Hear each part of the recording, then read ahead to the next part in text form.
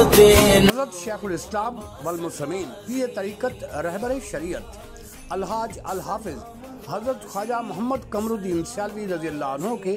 दो रोज़ा उर्स मुबारक की तकरीबा सत्रह अठारह रमज़ान आठ नौ अप्रैल बरोज़ हफ़्ता इतवार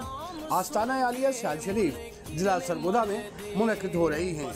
सदारत नायब अमीर शरीयत, हज़रत ख्वाजा ख्वाजगान कलंदर ज़मान